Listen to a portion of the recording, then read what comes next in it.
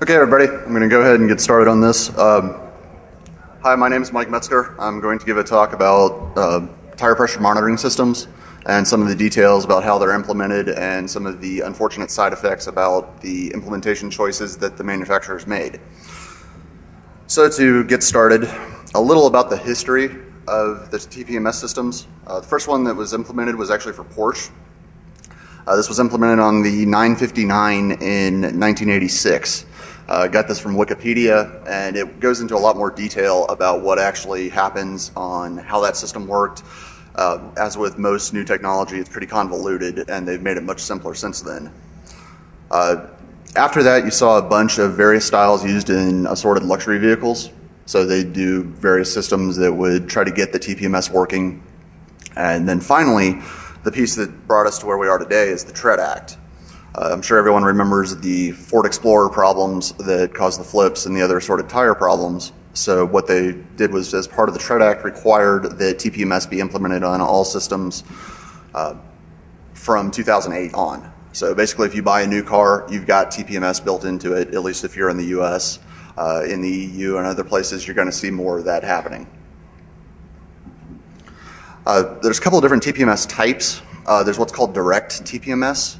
Uh, this is what's used in most vehicles. And you see two little variations of that. There's the one with the battery and what's called a battery-less. Uh, then you also have indirect. This is something that uses the ABS from the computer and does various calculations instead of an actual sensor to determine what the pressure is.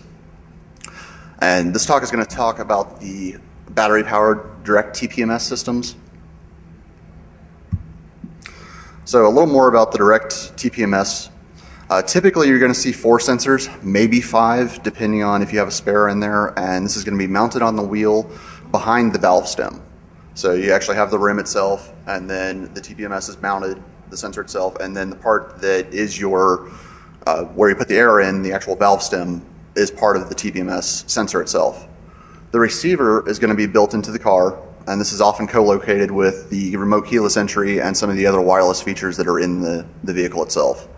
And then depending on the manufacturer, the car's uh, ECU or PCM, basically the engine control unit or the powertrain control module, processes the info and it behaves differently depending on the car itself and how it's programmed. And there's various versions of the individual flash per car vehicle. Uh, the main thing you'll see in most cars is the annoying TPMS light. Uh, this is a visual of the dash from my RX-8 from 2005, and the yellow light in the middle with the slightly flat tire with the exclamation point in the middle, that's the symbol that is kind of the universal TPMS icon. So a little about the sensors themselves. Uh, these things are built for pretty rough um, environmental system, uh, situations. You you've got a high rate of speed, rotation, heat, uh, cold, various air uh, levels, things like that. So for the most part, it's a combination of an ASIC, meaning a microcontroller, Atmel, Freescale, microchip. Pretty much everybody makes a TPMS-based system. Uh, you're going to see a pressure sensor and then some RF components. Uh, again, this is typically part of the valve stem and sits in a recessed area of the rim inside the tire. And then the RF, RF transmission itself is going to be in the 315 megahertz band for the US or the 433 for the EU.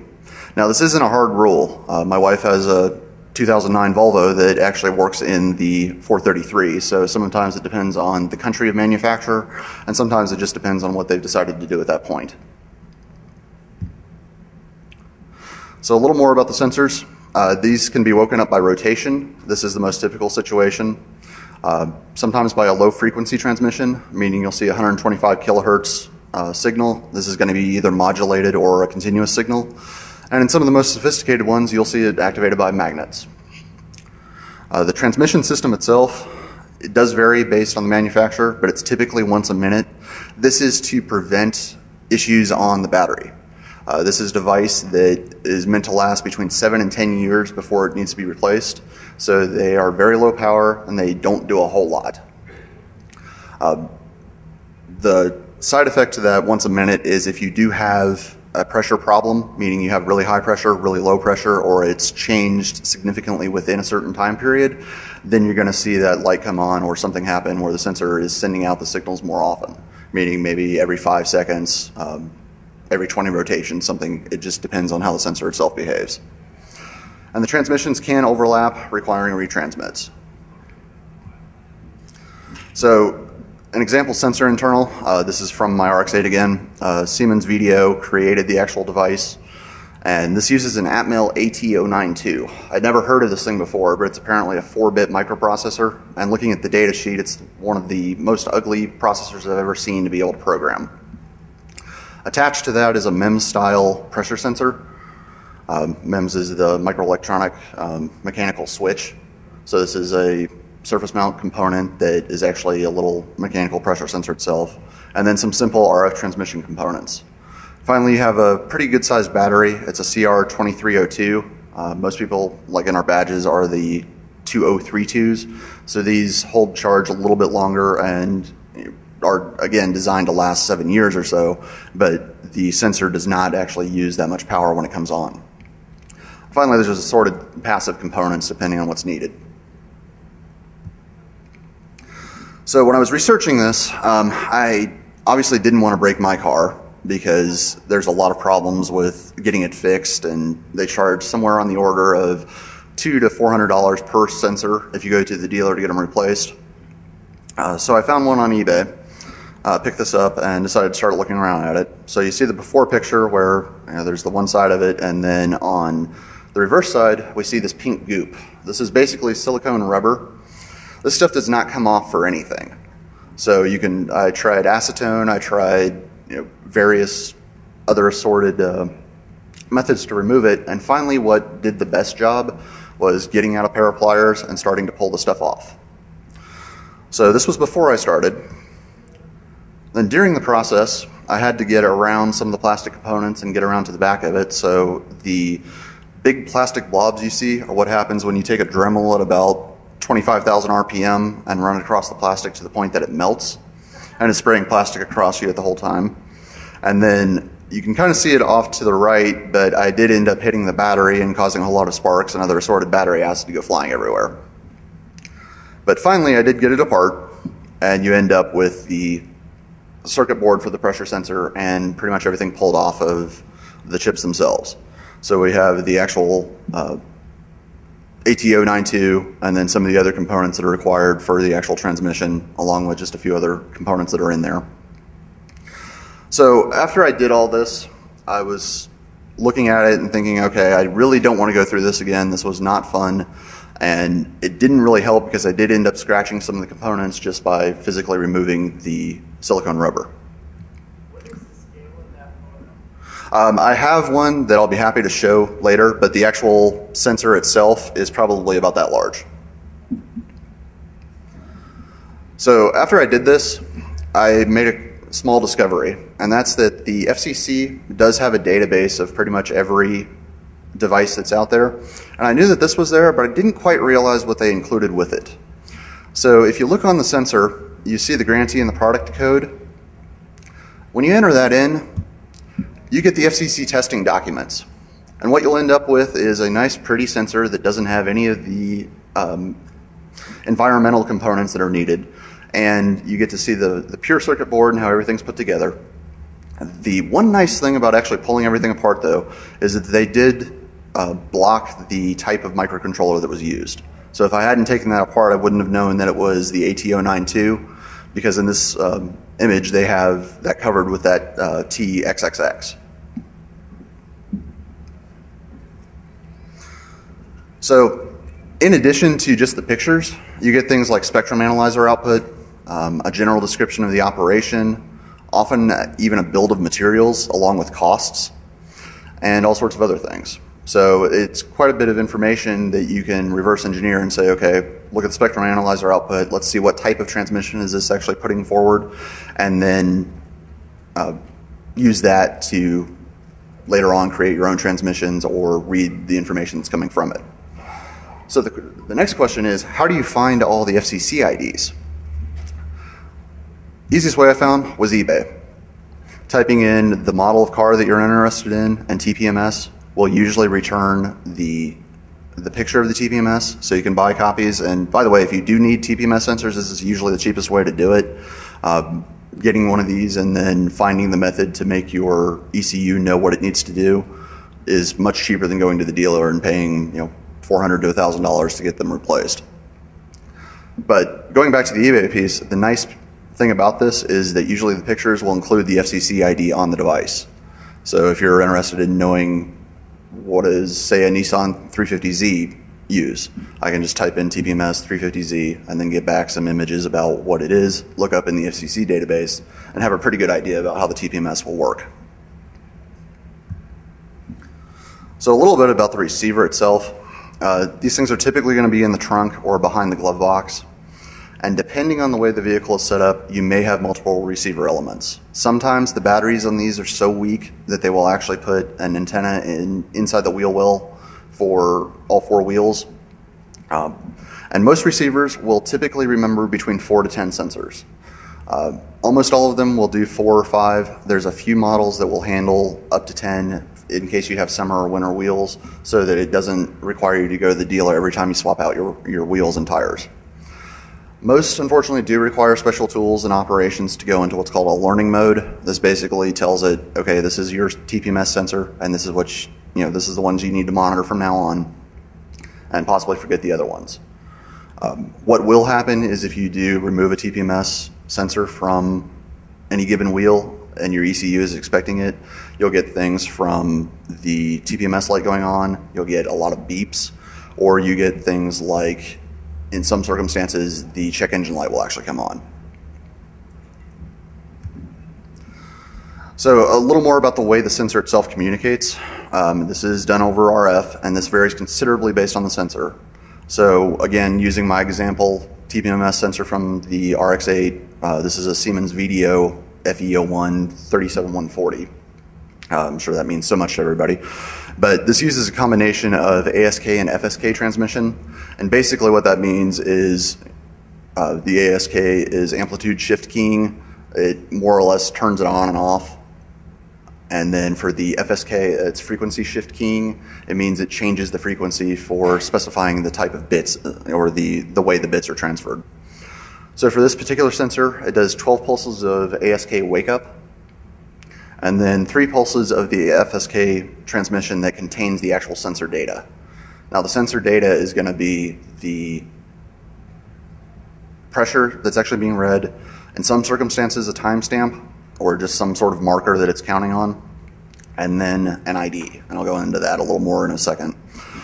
But what'll happen is this repeats, you know, once per minute over 20 miles or every five seconds with a pressure problem. So, as I mentioned, every transmission consists of the pressure level, the battery level, and a sensor ID. This exists to identify which wheel is actually causing the problem. Now, the biggest problem with the IDs that I found is that these things are way too precise. We're talking between 32 and 108 bits of ID information per sensor. So at the low end, we're looking at 4.2 billion separate sensor IDs that are out there, possibly quite a bit more. And this is encoded information. Again, this is encoded with the type of transmission, meaning the ASK, the FSK, or some of the other uh, frequency methods. But if you combine this with four to five sensors per car, it's very easy to identify a car by the tires alone. So this is something that with a strong enough antenna and the ability to read what the information is, you can then start tracking vehicles, do all sorts of other assorted purposes. Now, dealer and tire repair shops have um, universal tools that have been created. These things cost between 150 to about $3,000 depending how complex they are. Most will usually generate the 125 kilohertz signals. Um, this often contains a special tool, aka a magnet, um, GM and Chrysler, not Chrysler, I'm sorry, GM and um, Cadillac sell a tool that's a magnet for about 125 to 150 bucks to activate the TPMS. Or you can go to Radio Shack and pick up the little round six pack of magnets for about $3 and stick it on the valve stem and you've activated it the same way. Upscale models are going to decode the transmission based on the make, model, year, and so forth. Um, others are simply going to indicate the reception of a signal. So you'll see like a red or green light saying, yes, I've got the TPMS signal, or no, I don't. So when I was looking at this, I realized that I wanted to create some of my own tools that did this. Didn't want to pay for you know the 150 to 3,000 to be able to do this information, especially considering how simple most of this is. You know, there's some practical and some nefarious purposes for it, and I wanted to make this based on commodity parts. So the first part is a do-it-yourself receiver. Uh, this is mostly complete and will probably be implemented as an Arduino shield. Uh, it contains some RF receiver elements, uh, this chip varies based on what the ease of programming is. Uh, there's a maximum 1471 that does pretty much everything I need it to do. Uh, there's a C110 from ChipCon, and then there's some microchip options. As I mentioned, it's from Arduino. Uh, add an LCD display if you need it. Obviously, stick a magnet on there and a 125 kilohertz transmitter, and then make the appropriate code open source, and then a database for the transmission method. So I've got the database started. With this is from the assorted FS, FCC IDs and the ways that these communicate. And I'll have that up shortly after the talk. Uh, using the receiver, you can store multiple IDs. Uh, these are going to be great for car PCs with for vehicles with limited TPMS, like my RX-8. One thing I hate about it is that light will go off, but it won't tell me which tire is actually low um, or by how much. This was also an easy way to verify that the TPMS sensors are there, that they're working. And you can also just walk around parking lots and get the IDs of interesting vehicles that you want to track or see what's happening. Uh, transmitter, this is more so in more in development just because of some finickiness about how everything works. But it's not really a sensor, it's more of a spoofer. Again, this is going to be transmitter elements. This is likely a Maxim 732. Uh, it's a transceiver that'll do both receiving and transmitting, so we can combine everything into one device. Uh, it's Arduino again for simplicity, but it could be something like a microchip RF PIC. Um, also, again, this is going to be open and the database is going to be the same because to receive it is going to be the same as to send it. Uh, using the transmitter, certain wheels can't accept um, TPM sensors. So if you do aftermarket swap outs, you want to do the transmitter to get the uh, expected IDs to the ECU so that you don't get the annoying lights or beeps or anything else. Uh, you can get the IDs, send it to the spoof messages, send spoof messages confusing your ECU or other ECUs, you know, low pressure, high pressure, no pressure. Um, and then one option I thought of was set up near a stoplight a good sensor with an antenna, grab the IDs of a bunch of systems that are around there, retransmit with false TPMS info, and then go talk to a bunch of tire, uh, car dealers and say, you know, hey, I want a cut of all the work that you do on this. Uh, some more ideas, you know, set up a network of receivers tied to the loggers, you know, track pretty much any given vehicle that you want to. And the more frightening idea is if you start fuzzing the TPM formats. Um, obviously, I did not do this to my own car again because I do need to drive it, but um, as I'm sure everyone knows, there's more and more computer control of everything that's happening in a car. Your uh, ABS, the as seen with the Toyota, the um, acceleration problems, uh, fuel injection, pretty much anything related to the internal behaviors and so forth. If you can start using uh, fuzzing the TPM and get a good overflow into one of the systems that's based there, more of these are being based on ARM now, and you might be able to take over the car from remote. Uh, a couple things about countermeasures, real quick. Um, on privacy, they mainly need to drop the, the ID length to about 16 bits or less. These are there so that your cars, the IDs are there so your cars don't get confused when they're next to each other and pick up another transmission. But you don't need 32 to 108 bits worth of information to identify, to generally verify that your TPM sensors are okay. Or the other option is just encrypt the sensor communication. I, there's absolutely no encryption right now. They could do something as simple as you know triple DES or even AES uh, in most of these microcontrollers and not require a whole lot of work. And then what I'd say is from a general need, the vehicle vendors need to make sure that the TPMS processing modules can handle the bad data. Otherwise, we're going to see a whole lot of problems with cars from remote based on the computers being taken over. Um, for the future of this project, I need to drastically build out the database for the TPM communication formats. And this is going along further than when the slide was created, but ideally create the single device capable of acting in the send and receive configuration for multiple devices. This gets a little tricky based on the different types of transmission formats and the type of antennas you need, but it should be doable. So finally, just some thanks to some people that helped out with this project and uh, inspired me on a couple of different methods to verify that this was working. And that'd be it. So thanks everyone.